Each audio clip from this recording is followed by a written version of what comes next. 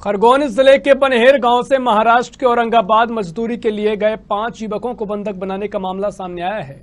युवकों को बंधक बनाने की शिकायत पुलिस अधीक्षक से कर उन्हें रिहा कराने की मांग की गई है। रोज़गार की तलाश में महाराष्ट्र गए युवकों को बंधक बनाकर डेढ़ लाख रुपए मांगे जा रहे हैं। परिजनों ने आरोपियों के बैंक खाते में पचास हज़ार रुपए भी जमा करा दिए। पुलिस ने परिजनों की शिकायत पर उचित कार्रवाई करने की बात कही है।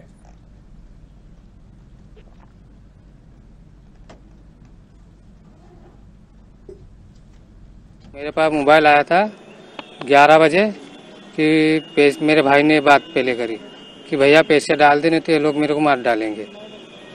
फिर किसी ने मराठी में महाराष्ट्री भाषा में बात करी कि पैसे डाल दे तेरे भाई के तो तेरे भाई को आधे घंटे में ख़त्म कर देंगे। कितने पैसे डाले आपने? अभी मैंने डाले गुन पचास हज़ार तो उन्होंने बीस हज़ार रुपये निकाल लिए। तो मैंने अभी बात करी कि भैया आप उनको छोड़ दो तो वो बोल रहा है कि नहीं पैसे नहीं निकलेंगे जब तक नहीं छोड़ने का। और एक के पैसे और डालो। कितने कितने दिनों से लापता है? ये पाँच रोज हो गए इनको। तो काय के लिए गए थे? ये मजदूरी के हिसाब से गए थे वहाँ पे। मजदूरी के साथ हाँ। अभी कहाँ पे है? कुछ पता लग रहा है जगह महाराष्ट्र में कहाँ है? लोकेशन पूना के पास। में बता रहे पूना के पास आ रही हाँ। खड़े गाँव बता रहे अच्छा।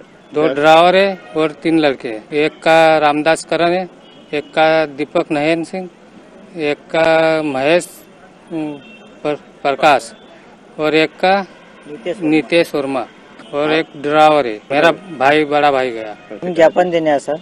है हमारे बनेर से जो पाँच बच्चे औरंगाबाद के लिए निकले इनको वहाँ से किसी ने अपहरण कर लिया है और बंधक बना के रखा है पूना के पास में ग्रामीण क्षेत्र में।